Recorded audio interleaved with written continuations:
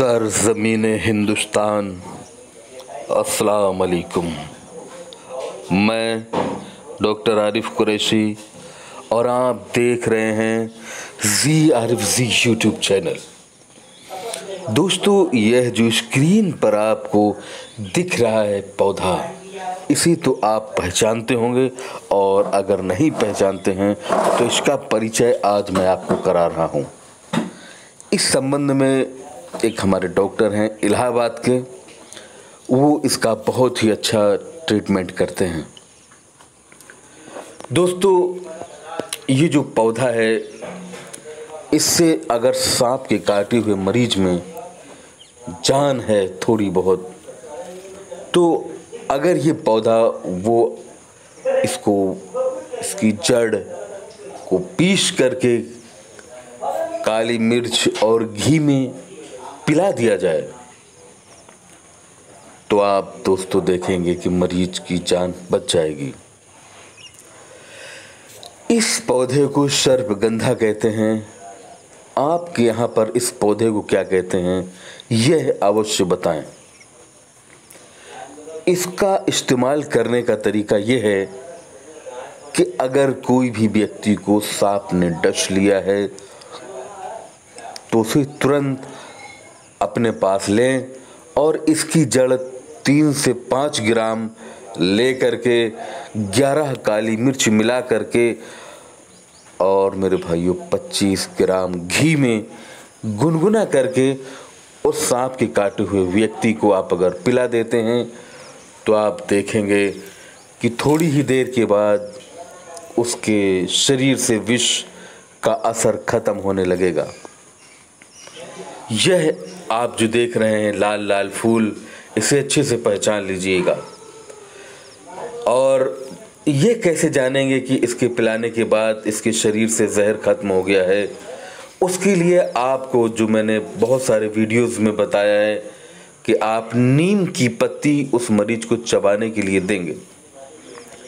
और अगर वो मरीज़ कहता है कि नीम की पत्ती उसे कड़वी लग रही है तो आप ये समझ लीजिएगा कि उस व्यक्ति के शरीर से जहर पूरी तरीके से जा चुका है।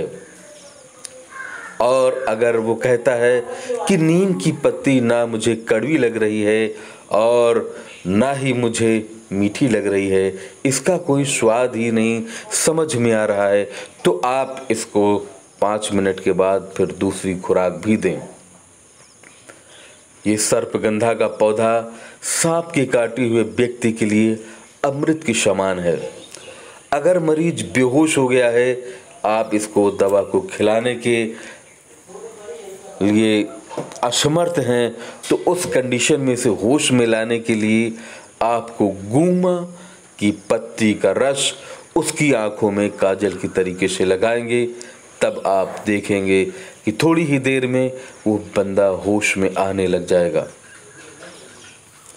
मेरे दोस्तों, इसको ज़्यादा से ज़्यादा शेयर इसलिए कीजिएगा कि किसी की जान बच जाए। हर जगह पाताल मणि हर जगह पर आपको कलिहारी नहीं मिल सकती है। जहाँ पर ये पौधा है, ये गूमे का पौधा, इस पौधे का इस्तेमाल करके अपने पास आए हुए मरीज़ की जान बचाएँ। मेरे दोस्तों, इसका इलाज भी आपको फ्री ऑफ़ कॉस्ट करना है, एक भी पैसा नहीं लेना है। जहाँ तक कि अगर कोई भी मरीज़ सांप के कांटे का आए तो उसके पास का पैसा तो दूर, आप उसका पानी भी नहीं पी सकते हैं। आप इस बात को बड़े गौर और इतमान से जान लीजिएगा कि कफन में जेब नहीं होती है और मेरे भाइयों, कब्र में एटीएम कार्ड नहीं चलता। ये जो पौधा है, बड़े इतमान से देख लीजिएगा। इसे ही कहते हैं सर्पगंधा। और एक बार फिर मैं आपको कह दूँ, अपनी नॉलेज के लिए कि आपके क्षेत्र में इस पौधे को क्या कहा जाता है, ये बात कमेंट करके अवश्य बताएँ। मेरे भाइयों, ये बहुत ही आजमूदार है सांप के काटने पर। एक बार आपको फिर मैं आपको दिखाता हूँ इसकी पूरी तरीके से। ये देख लीजिएगा, सफ़ेद सफ़ेद फूल हैं और उसमें लाल आभा लिए भी फूल हैं। ये सफ़ेद फूल हैं। ये आप देख रहे हैं सर्पगंधा का पौधा। इसका इस्तेमाल एक बार फिर चाहो तो सुन लो, लेकिन मुझे उम्मीद है कि आप लोग एक ही बार में समझ गए होंगे। और इस वीडियो को ज़्यादा से ज़्यादा शेयर करें। मेरे भाइयों सांप अक्सर गरीबों को काटा करते हैं और गरीब ही लोग सबसे ज़्यादा सांपों का शिकार होते हैं, जिनके पास पैसा नहीं होता है कि वो बेचारे चारपाई खरीद लें या कि खेतों में पानी लगाने गए हैं। उन व्यक्तियों को भी स्नेक वाइट हो जाता है।